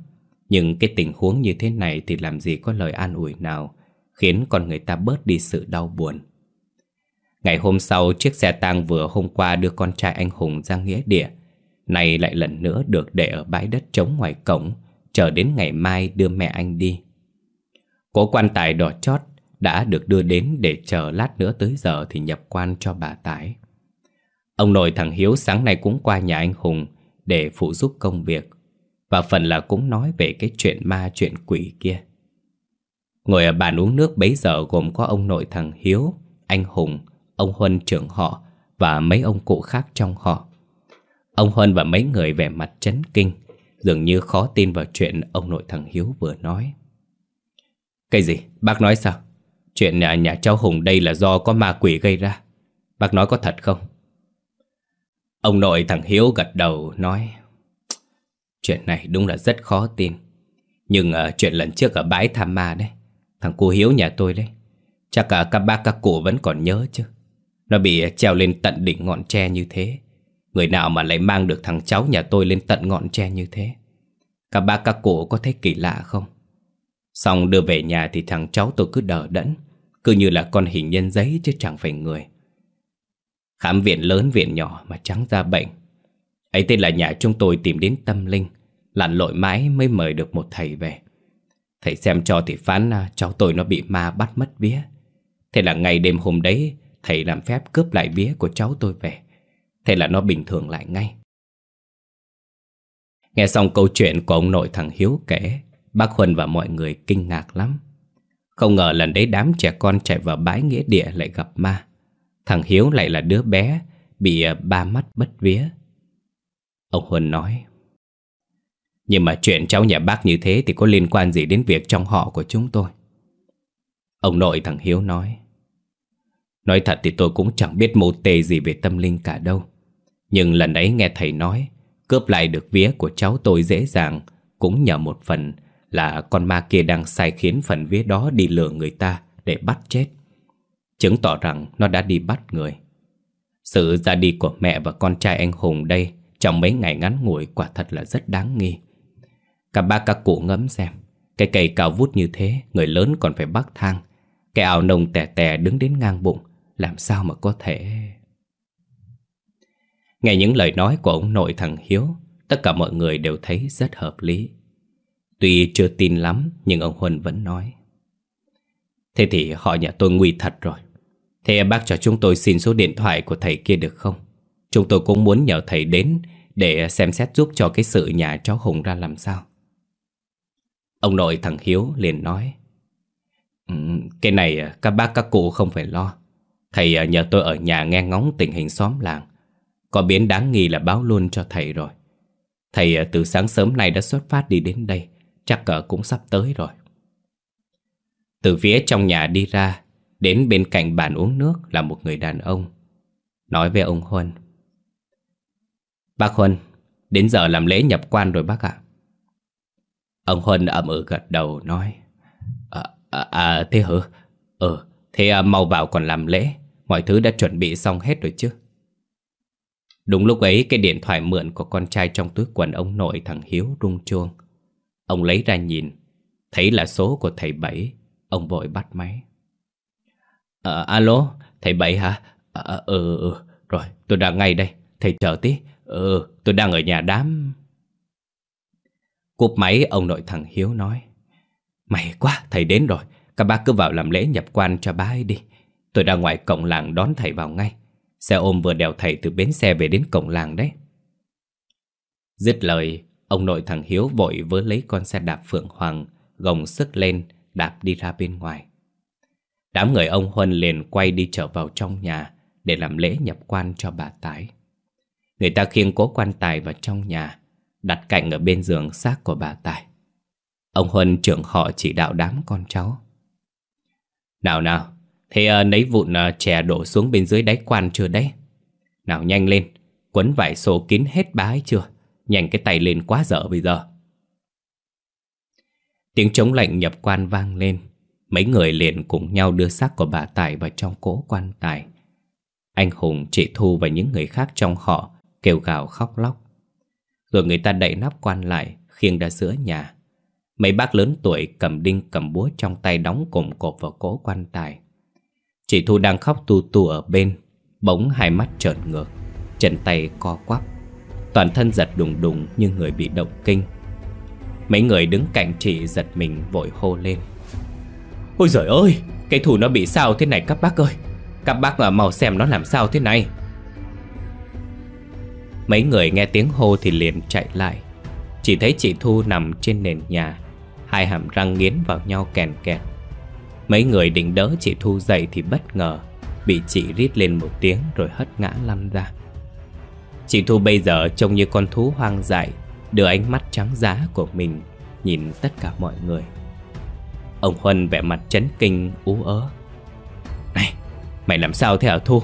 Mày làm cái trò gì thế hả Thu? Chị Thu nghe thế thì quắc mắt nhìn ông Huân. Từ trong họng phát ra tiếng nói ồm ồm như đàn ông. Mẹ kiếp thằng già kia, Mày hỏi ai đấy? Mày tin tao bẻ cổ mày dễ như trở bàn tay không hả? Thằng già.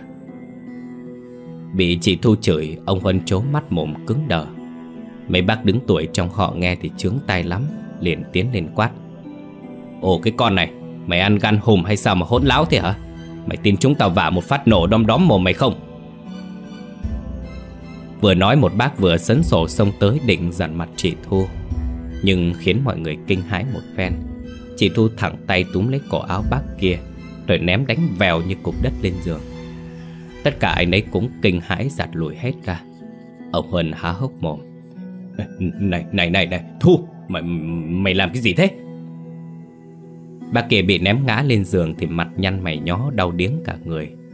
Chị Thu cười lên khẳng khặc rồi nhún người một cái nhảy phát lên, Bám vào xà nhà đánh đu Hai tay hai chân chị Thu bám quắp lấy thanh xà.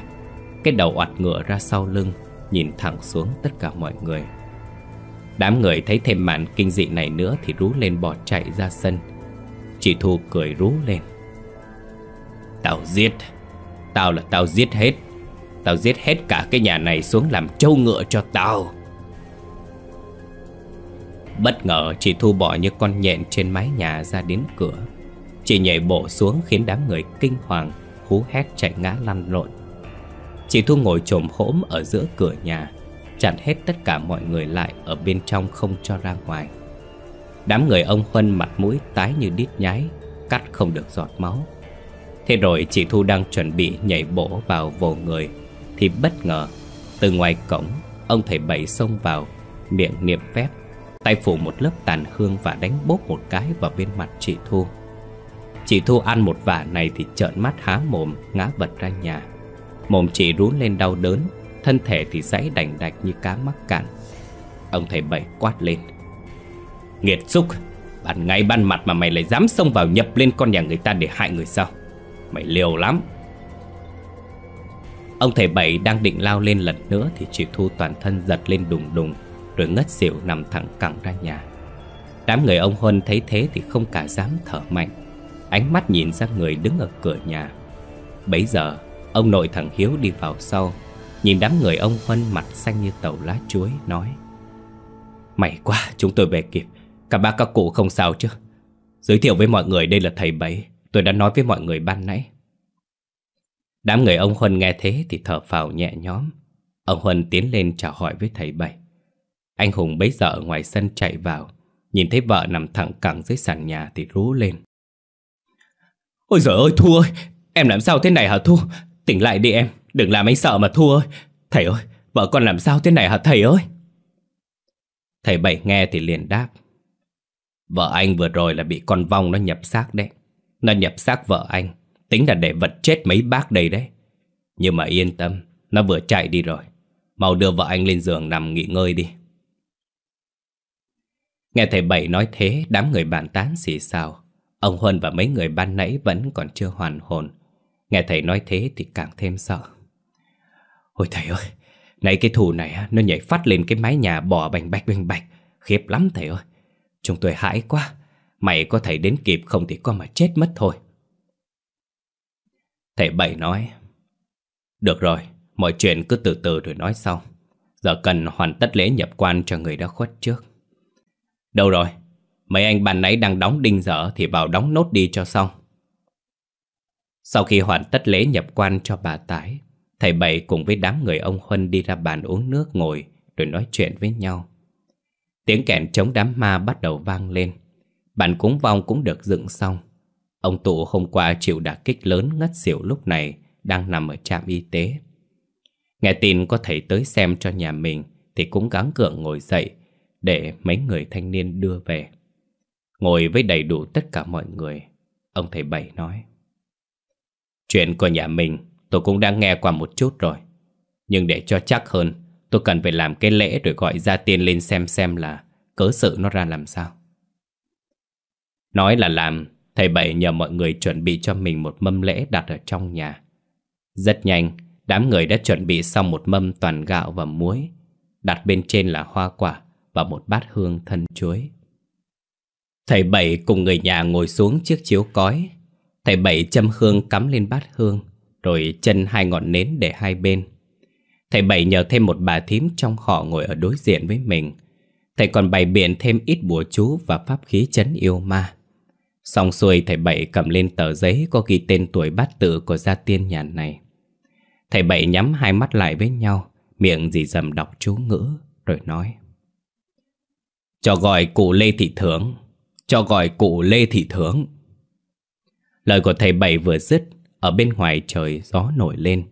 Thế rồi bà thím đang ngồi đối diện với thầy Bảy, Mặt mày ngơ ngác, Thì đột nhiên mặt mũi tối sầm lại. Đầu gục xuống, Hai tay buông thõng. Thế rồi bà thím ấy toàn thân rơi run rẩy, Miệng phát ra tiếng khóc rưng rức. Thầy ơi, Khổ quá thầy ơi, Thầy cứu con cháu nhà tôi với thầy ơi. Ông thầy Bảy nhìn bà thím hỏi. Cụ thượng đây phải không? Sao ra gia tiên nhà ta đi đâu mà để cho yêu ma bên ngoài? Nó vào lộng hành, Bắt mất hai mạng người rồi thế. Nghe thầy Bảy nói, Vòng bà cụ thượng càng lên khóc lớn hơn. Khổ lắm thầy ơi, Nó nó là quỷ ngự ngoài bái nghĩa địa làng tôi đã mấy trăm năm. Không những mạnh mà còn rất gian xảo. Chính nó đã lừa thằng Tùng con thằng Hùng ra mở cổng nhà trong giấc mơ đấy thầy ơi Thế là nó tự do ra vào nhà bắt người mà chúng tôi chẳng tài nào làm gì được. Thầy Bảy lại hỏi tiếp. Thế nó ngựa ở chỗ nào bãi nghĩa địa, cụ có biết không? Mà nó có lai lịch như thế nào? Tại sao nó lại về nhà ta bắt người? Khổ lắm thầy ơi, lần đấy con cháu nhà tôi theo đám trẻ con ra ngoài bãi tham ma chơi buổi tối. Chúng nó gọi ma, thế là con quỷ kia nó hiện ra. Ban đầu nó định ám theo thằng cu hiếu nhà kia, nhưng rồi nó lại thấy thằng cháu Tùng nhà tôi hợp mệnh với nó. Thế là nó theo bắt. Bắt được thằng Tùng rồi thì nó muốn bắt luôn cả nhà thầy ơi. Thầy cứu con cháu nhà chúng tôi với thầy. Còn lai lịch và nó ngựa ở chỗ nào bãi nghĩa địa thì chúng tôi chẳng rõ. Nó giản lắm, không biết đường nào mà lần. thầy uh, ờ, cụ có biết con quỷ đó giết hai người trong nhà kiểu gì không? Vòng linh bà cụ thượng rú lên khóc lớn. Ôi thầy ơi, nó dã man lắm thầy ơi. Nửa đêm nó lửa cháu Tùng nhà tôi ra ngoài. Nó bóp chết thằng bé rồi treo cổ lên đỉnh ngọn cây. Còn còn cái tải... Trời ơi thầy ơi, con quỷ đấy. Nó biến thành thằng cháu Tùng. Lửa cái tải ra bờ ao khi nó trượt chân ngã xuống rồi dìm chết trong ao. Khổ lắm thầy ơi. Hai bà cháu nó chưa tận số. Nhưng bị con quỷ kia nó bắt chết. Đám người vây quanh xong những lời của vong linh bà cụ thượng thì chấn kinh lắm. Không ngờ mọi chuyện nó lại là như thế. Thầy Bảy nói. Đúng là quỷ, bảo sao mà giữa thanh thiên bạch nhật mà nó dám xuất hiện tắc oái tắc quái trong nhà ta. Thôi được rồi, tôi gọi cụ lên đây là chỉ để hỏi như thế thôi. Thế giờ cụ nói chuyện với con cháu đi rồi xuống lại dưới kia. Một hồi lâu sau, mầm lễ gọi vong đã được dọn dẹp sạch sẽ. Thầy Bảy ngồi lại bàn uống nước với mọi người, nói Đây, vậy là mọi sự diễn ra mấy hôm nay đã được làm sáng tỏ hết rồi. Việc còn lại bây giờ là phải ra bãi nghĩa địa, tìm cho ra chỗ ẩn náu của con quỷ kia, rồi bắt nó là việc sẽ qua đi thôi. Ông Tu và anh Hùng vẻ mặt buồn bã, đau thương nói Vâng, nhà chúng tôi chăm sự nhờ hết vào thầy Mong thầy làm sao cho vong linh của bà ấy và cháu tôi được yên nghỉ thanh thản. Ông thầy Bảy gật đầu nói Gia đình cứ yên tâm Nhất định tôi sẽ làm mọi việc chu toàn hết sức có thể. Việc ra bãi nghĩa địa tìm nơi con quỷ kia lẩn trốn Thì phải đợi tới chiều tối. Còn bây giờ mọi người hãy giúp tôi chuẩn bị một số thứ Để chiều tối sẽ dùng đến. Buổi chiều muộn Thầy Bảy cùng với anh Hùng, ông Huân cùng năm người đàn ông khỏe mạnh trong họ đi ra ngoài bãi nghĩa địa. Ông thầy Bảy chỉ cho vài người đi cùng để giúp mình làm một số việc. Đi đông người sẽ rất nguy hiểm. Thầy Bảy đốt một bó hương to, kêu mấy người cầm đi, cắm lên tất cả các ngôi mộ trong bãi nghĩa địa. Thầy chỉ giữ lại ba cây hương cắm vào cái la bàn âm dương. Rồi thầy cầm theo cái la bàn âm dương ấy đi khắp xung quanh bãi nghĩa địa. Thầy Bảy đi dò xét không chừa một ngóc cách nào của bãi nghĩa địa. Từng bước chân của thầy Bảy rất cẩn thận và chậm rãi. Ánh mắt của thầy luôn quan sát rất kỹ những chuyển động, dù là nhẹ nhất của cây kim chỉ trên mặt la bàn âm dương. Những viên đá nhỏ bằng hạt đỗ gắn trên mặt la bàn luôn lóe lên những ánh sáng nhỏ đều nhau. Chiếc la bàn này dùng để dò âm khí, tìm nơi trú ngụ của ma quỷ. Nó có hiệu quả nhất là ở những nơi có người sinh sống. Bởi vì nơi đấy bao phủ toàn là dương khí. Nếu âm khí xuất hiện thì rất dễ phát hiện. Nhưng vì ở đây là bãi nghĩa địa, Xung quanh đâu đâu cũng là âm khí. Nên là chỉ khi nào dò ra chỗ âm khí mạnh nhất Thì mới phát hiện ra con quỷ kia. Mãi một hồi lâu sau, Ông thầy Bảy đã dò ra được nơi có âm khí tỏa ma mạnh nhất. Hướng ấy không có mộ huyệt nào hết, Chỉ là một ụ đất trống mọc cỏ um tùm sát mép bãi cây bạch đàn.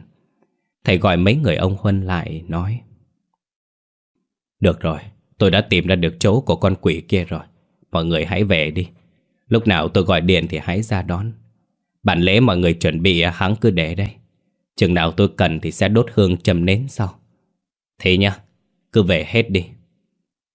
Mấy người gật đầu rồi xin phép ra về trước, để lại ông thầy Bảy đứng một mình giữa bãi nghĩa địa. Thầy Bảy ngồi đấy, ngồi một mình trước bàn lễ thầy đang chờ đợi. Tất cả các giác quan của thầy đang hướng về phía bãi cỏ um tùm, cạnh bãi cây bạch đàn để cảm nhận.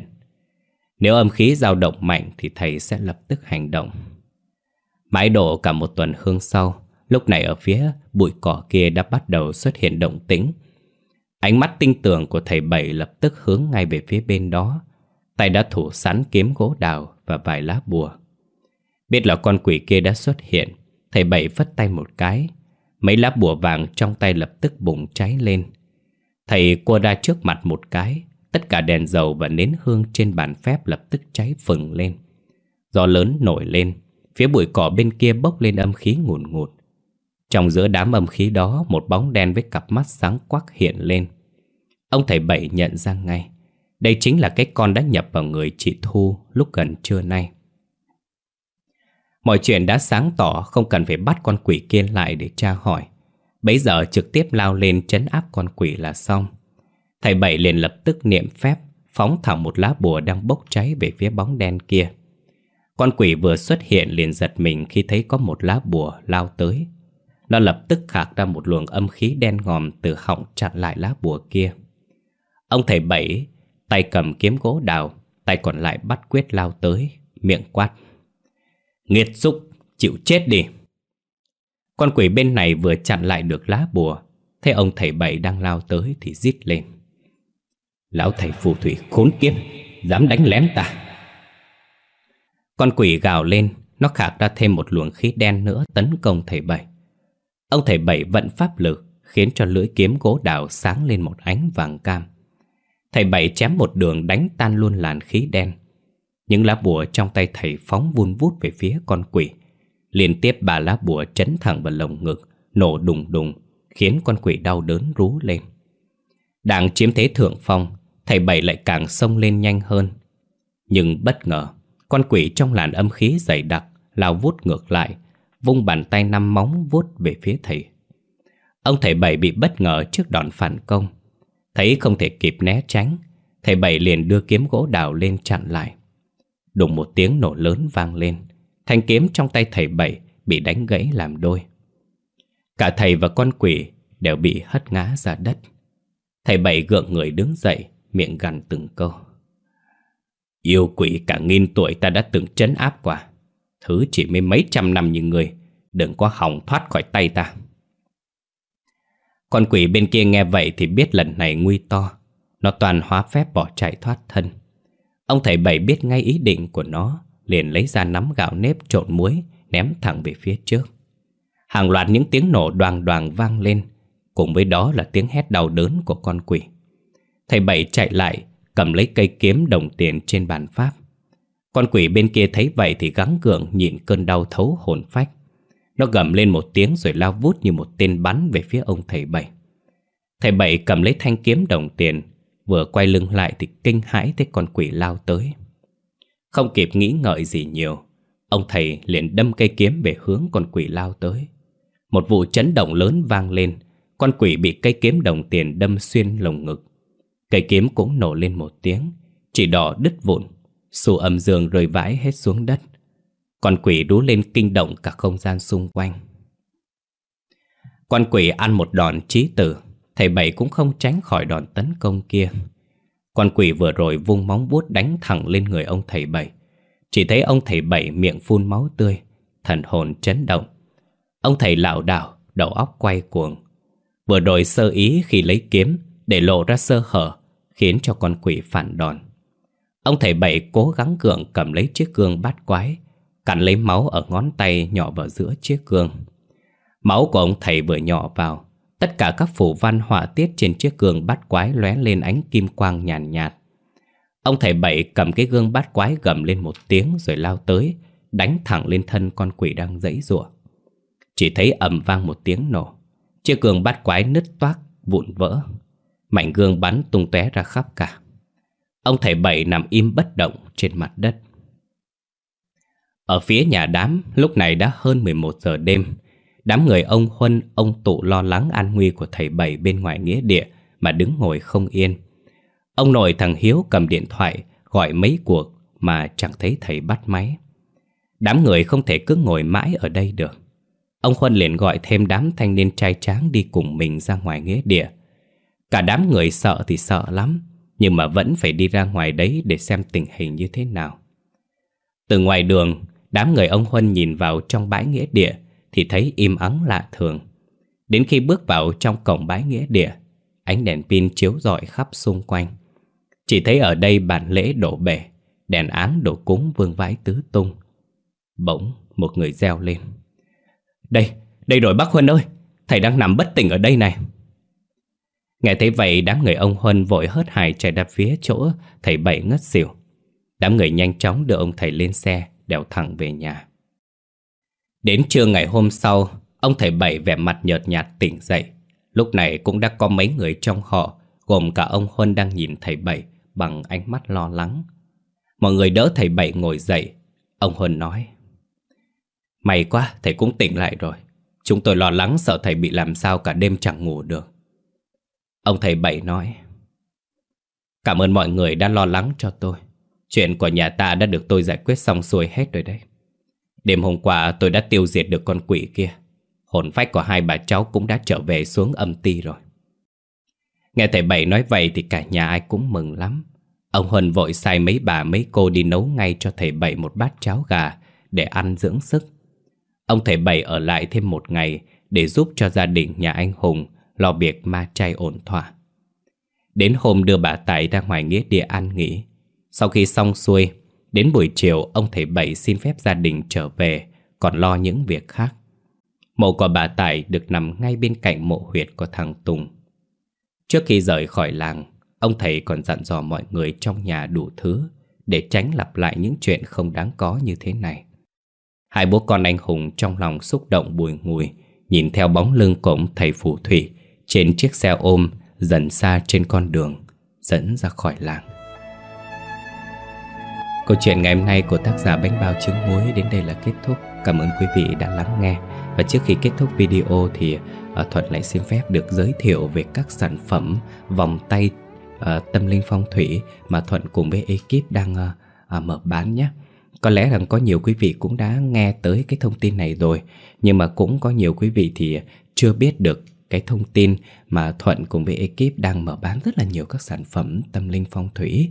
Thì uh, quý vị muốn biết rõ hơn thì uh, quý vị hãy vào uh, fanpage ở trên Facebook tìm kiếm là nhà ma thì sẽ ra.